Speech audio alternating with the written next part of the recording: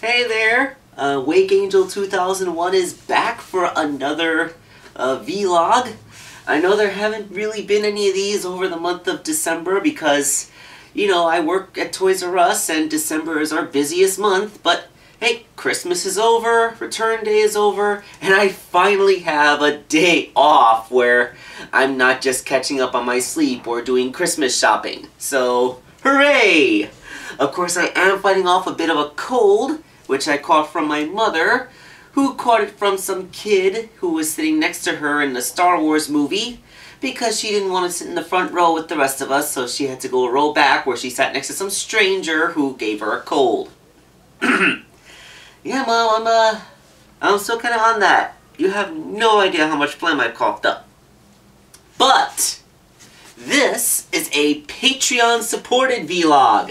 It is um, a request of Josh Henniger, my only Patreon supporter for the month of uh, November, who requested that I do a vlog about Sonic Spinball. Um, one of the more niche titles, uh, the Sonic games on the Sega Genesis. Now, Sonic Spinball. Okay, that jump cut cutscene unnatural is because the phone rang and I had to go address it. So, Sonic Spinball. Um, this game is kind of well known for being made by uh, the American Sega branch, uh, Sega America. Although Sonic 2 and 3 were also largely developed in America, this is kind of uh, this is kind of the one that everybody knows was made in America. Because, uh, you know, it's just so radically different from the other Sonic games on the console. So I got I got some notes here. Uh, Sonic Spinball was first released in uh, in November of 1993, which actually puts it after the release of Sonic CD on September 23rd, but before the release of Sonic 3 on February 2nd, 1994. So that officially makes us the fourth Sonic game for the Sega Genesis. well, I guess I guess it still counts as a third game on the Genesis because the Sega CD was an add-on to the console. Will you still count it as a Genesis game? Because you can't play a Sonic CD without a Genesis to attach it to. I'm going to count it as a Genesis game. Even though it's a CD peripheral, it's still a Genesis game. So, uh,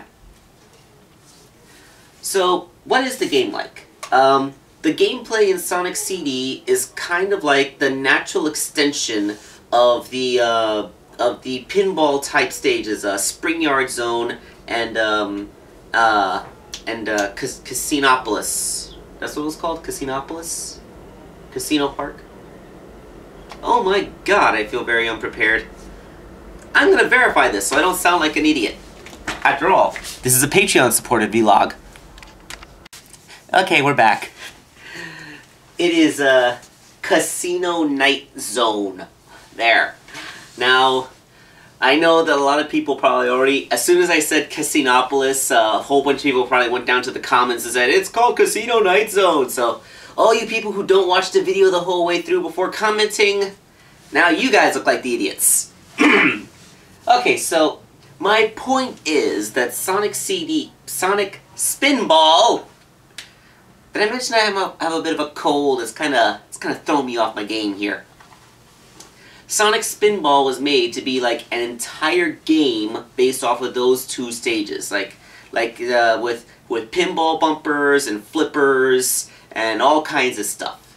Uh, and uh, well, what can I say about this game? I've never actually beaten it. Uh, I have gone as far as the last stage, although I never actually beat the last stage. Um, this is because the last stage is actually quite hard, but also, uh, well, I haven't actually seriously made an effort to beat the game since I was like 13. This is because, well, you know, like, the game, it's not bad, but I really don't, I can't stand a long play session. Like, it has no, no, there is a level skip code, but it's kind of complicated to put in. Um, like, uh, from the menu, you have to, you have to put in the button commands, and then when you start, it'll take you to that level. There's no, like, there's no putting in a simple code and then getting a menu of the stages to choose like you would in Sonic 1 or Sonic 2. So having to remember a code for each individual level is a bit of a pain. And um, it's, uh, well, the stages are kind of long.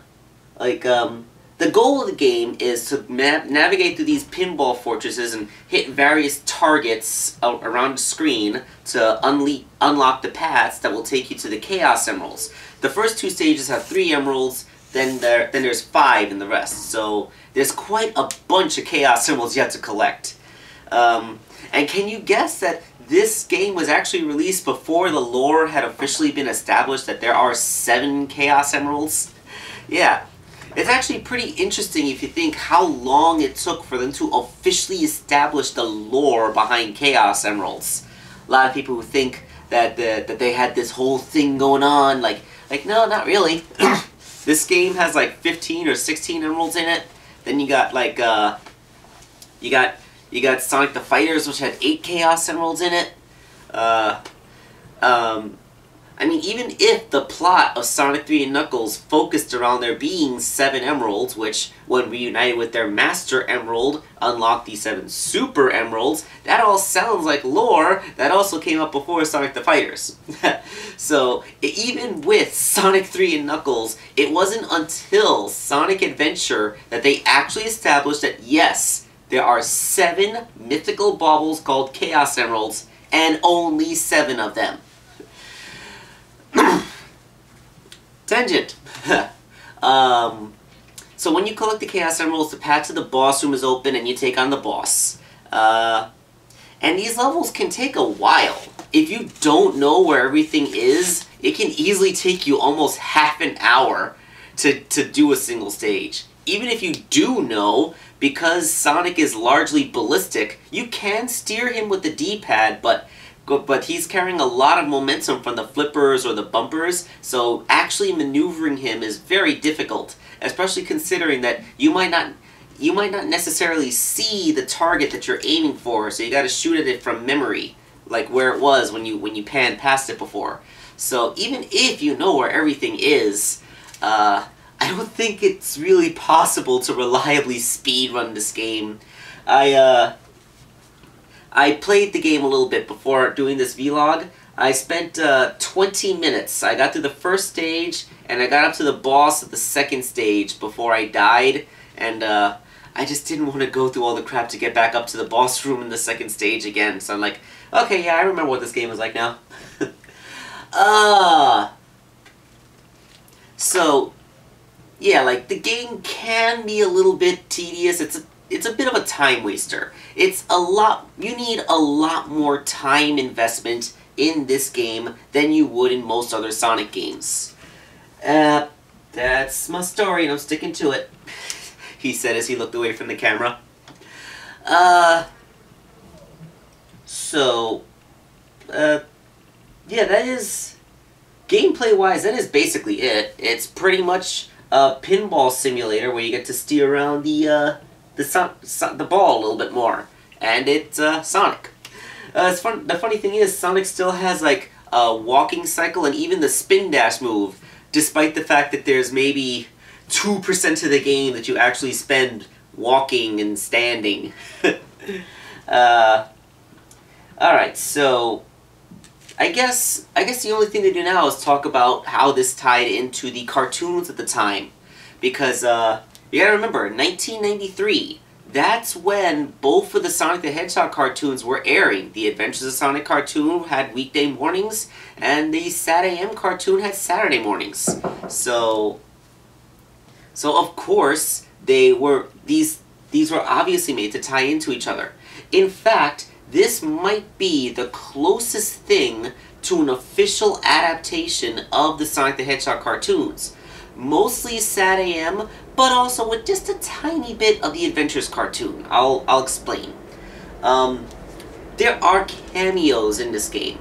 Uh, like a lot, like a couple of the bad of the enemy Badnik characters that appear in this game actually are from the cartoons. Uh, let's go to some. Uh, I'll I'll show some pictures and narrate over that. Um, Then there's uh, uh, um, uh, characters. Like I said, characters from the cartoon make appearances in this game, and then there's Sonic's appearance too. Uh, his appearance is actually tied into how he looked in those cartoons as well. Uh, not Dr. Eggman's. Look, look at Dr. Robotnik. L look again. There we go. You see that? That is, uh, he has black sclera, like the whites of his eyes are black, like like they were in the cartoons. But aside from that, that's very much the video game appearance of him. He has a big round body. He has a he has a spherical head, perfectly bald. Like it's cold, man. Like that is the that is the video game Robotnik, just with blacked out eyes. Okay, so I guess it's um I guess I'm gonna have to start talking over some some pictures so that you have context of of what I'm to be getting at for the next little while. So just to reiterate, um, here's the box art for the Sega Genesis version of the game, uh, released in America, of course. Uh, you see that Dr. Robotnik there, despite the blacks, the blacked out sclera, it's very much um, the video game Dr. Robotnik. The perfectly round body, the the shape of his face and nose, the the Eggmobile, that's all Dr. Robotnik. the Game Gear art actually used um, the more cartoon version of Robotnik but the cartoon version from the Adventures of Sonic the Hedgehog cartoon. And um, can't help but think that this is the wrong Robotnik to go with. I mean, he's a little goofier and sillier looking, and I kind of would have liked to see the SatAM version of Robotnik on the cover of a video game, because that guy looks so intense and awesome. Of course, um, that isn't the only instance of an Adventures character making a cameo in this game. Uh, Scratch actually does appear in one of the bonus stages, but that's really it. Almost every other cameo is from the SatAM cartoon, such as Cluck, Dr. Robotnik's pet chicken, uh, pet robot chicken that is, and um, and the Freedom Fighter cast. Uh, of course, Tails is uh, is in it. Um, he's actually the only one that appears outside the special stages if um if you watch the opening cutscene of the game, he's flying Sonic in a plane, and the plane gets shot down, and Sonic jumps off, um, and that's where the game starts with him coming up in the sewers at the base of the mountain. Um, but yeah, Tails isn't the only one that makes a cameo. Yeah, we actually get cameos of three of the four major uh, cast members from the cartoon, the SatAM cartoon, that hadn't made appearances in other games. Uh, there's Bunny, um, Rotor, with a much bigger head and a much smaller body, and even Princess Sally. Uh, although you may notice the colors are a little different, um, my guess is that this game was in development uh, when the when the when the SatAM cartoon was in development, and um, they had worked off of very early preliminary design sketches because they did initially go with a Princess Sally's color scheme where she was a lot more pink and with black hair. I think uh, her her brown and red haired color scheme was uh was really a late decision as even in the pilot Sally had lighter colors so they're probably working on some really early concept art. Um, and also, look at the reflection of Sonic in the glass of this pinball machine. That is the SatAM cartoon Sonic. He has a single row of spines going from his the back of his head down his back like a like an enormous mohawk. Uh, he has a perfectly round head. Um, that that is the SatAM Sonic. That that is a Sonic the Hedgehog drawn to look like he does in the cartoons. That's not the, the Sonic the Hedgehog from the video games. And remember, Sonic 2 had been made. Video game Sonic's look had already been established. He had six spines on his head, three rows of two, and two more spines on his back. So this is very much what Sonic looked like in the cartoons, not the older games. So, if ever there was a, a case to show that that the Sonic, the the, the Doctor Robot, the uh, that Sonic Spinball was ever made to be an adaptation of the SatAM cartoon, this screenshot is uh, probably the most compelling evidence for that. Speaking of uh, cartoon adaptations, of course there was going to be cross promotion. you gotta remember, these cartoons were actually pretty popular in their time, except for the fact that Power Rangers was sapping away all the Saturday morning ratings. But of course, they would use the cartoon as an opportunity to, to you know, advertise this game. Um, oh man, I'm really sick. Uh, the Attack on Pinball Fortress episode of the Adventures of Sonic the Hedgehog cartoon, uh, which first had an air date in October of 1993, uh, barely a month before the actual game would be released on a console, was probably the thing that they were hoping would, would make the most sales, because it's a pretty blatant thing. Like, look at that, look at that building. It has freaking pinball flippers on the side of it. Um, and uh, we actually get to see the first boss from the game, uh, Scorp. I believe it's called Scorp. Uh, although it looks vastly different here than it did in the game. Um, and so yeah, there we go. That's uh, that's the uh, that that was the uh, Adventures cartoon adaptation of this game. Um, of course, it would be adapted in the comic book as well, but that's no big deal. The comic book always adapts the games, even back then. And it's funny, look at the art style. The art style of the comic from way back then actually looked like this, the, the Adventures cartoon. That's kind of funny. Of course, the really famous adaptation of Sonic CD is going to be the, uh, the Game Guy episode from Sat AM. Now, I was actually quite surprised in my research that I found out that Game Guy's original air date was actually all the way back in September of 1994, like almost a year after the Spinball game came out. I guess we can chalk this up to the fact that with only a weekly airing schedule, the fact that this is a season two episode and therefore had to air after the uh, it, the intermittent break, and the fact that um, there's a higher quality of animation in this show. I guess it just took more time to produce this episode than the uh, than the one for the Adventures cartoon. but okay, this episode. Um, it begins with this Ram guy. Uh, he it turns out he's the leader of another freedom fighter cell, and all of his people have been captured by Dr. Eggman, and uh, he asks Sonic to help rescue them. Uh, Uh, he leads Sonic into the uh, pinball fortress, which, by the way, looks like this in the cartoon. Hey, yeah, that, yeah, wow, why, why didn't the game look like this? This is awesome. Um, yeah, and, uh, and, uh, it turns out to be a trap. Uh, turns out that, that the Ram guy, I believe his name was Ari or something, he betrayed Sonic. Oh, by the way, the, the first level boss is Scorpius, not Scorp, Scorpius. Ah, okay, now, once again, people who jumped to the comments section before I finishing watching the video, you have once again been made to look foolish. okay, so, um, yeah, so, uh, now, at first you think, okay, this is, this is all silly fun, right? So, he's led into this pinball fortress, like, um, the penalty for failing the pinball machine would be to be pulled into the zone of silence, which is where Naugus and King Acorn were sent. Uh, like, but but aside from that, like, ah, look at him, he's fighting this little, silly, silly pinball thing. He made a pinball themed death trap, hardy har har. And then that's when we find out that Ari demands that uh, Robotnik maintain his end of the deal. And that's when we find out that Robotnik had already roboticized all of his friends and all the people from his Freedom Fighter cell. Did you forget that this is Sonic SatAM? Of course it's incredibly dark and messed up.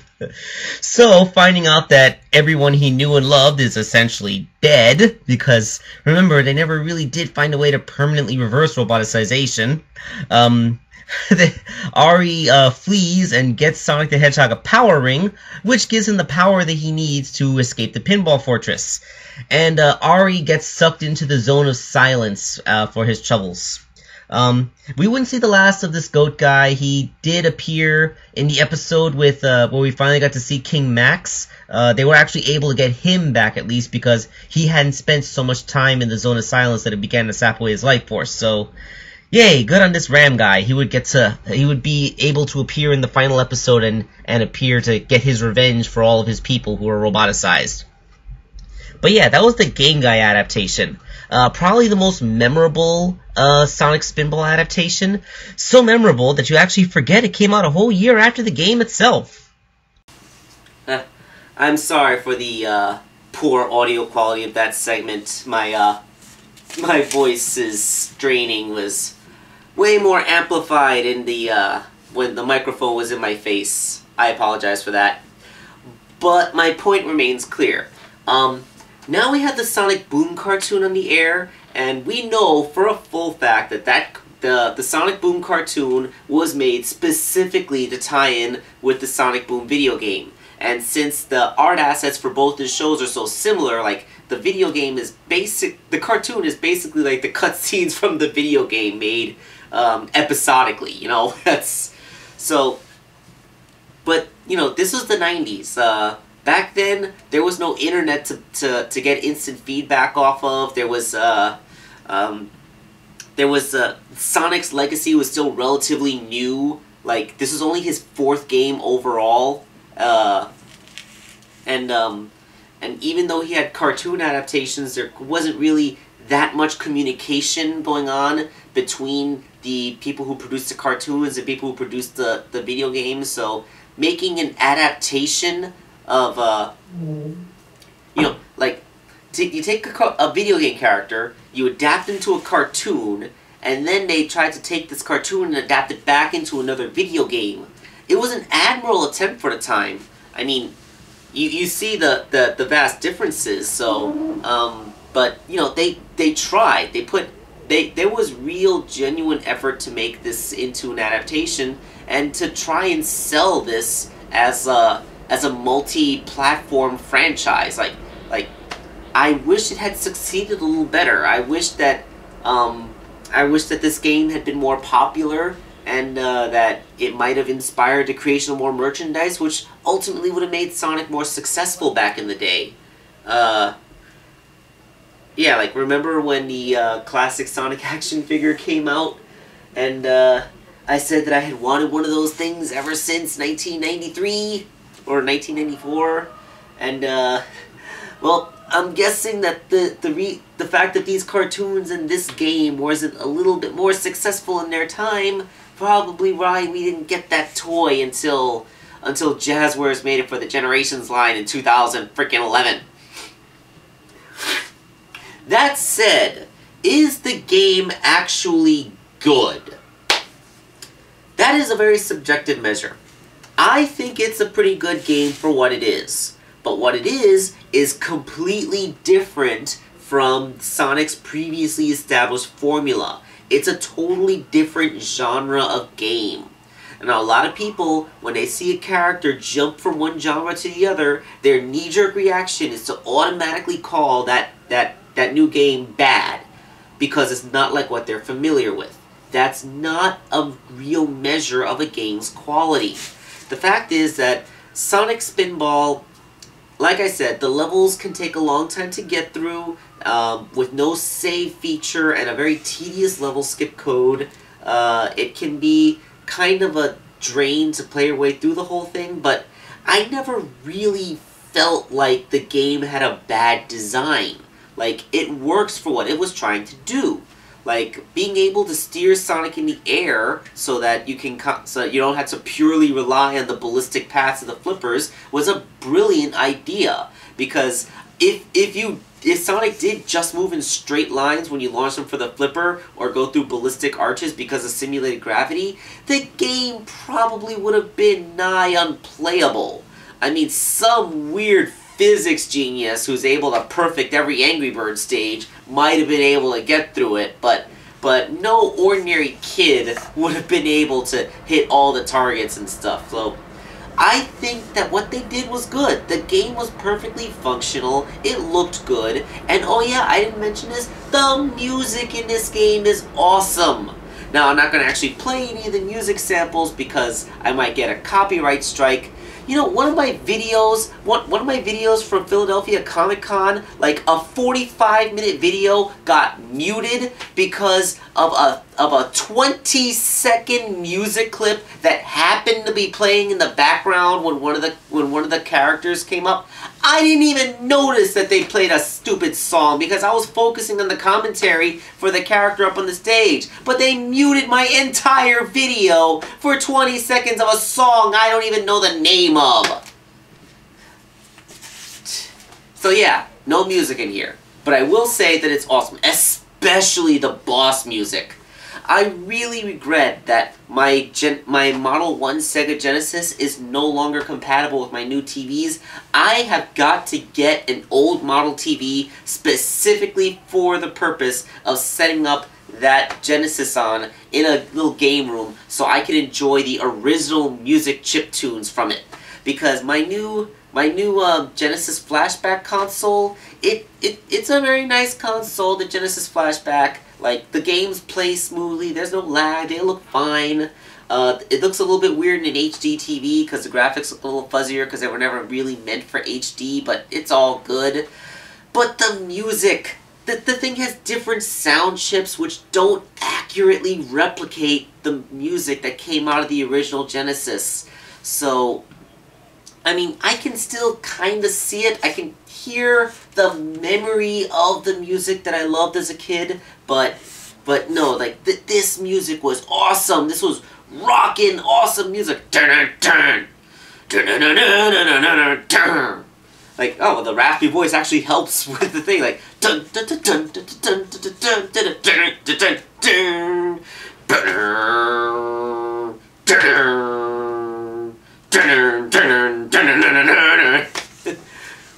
you, you gotta listen to it. You gotta find um like like like go we're, we're on YouTube. See if you can find if someone has posted this music because it's awesome.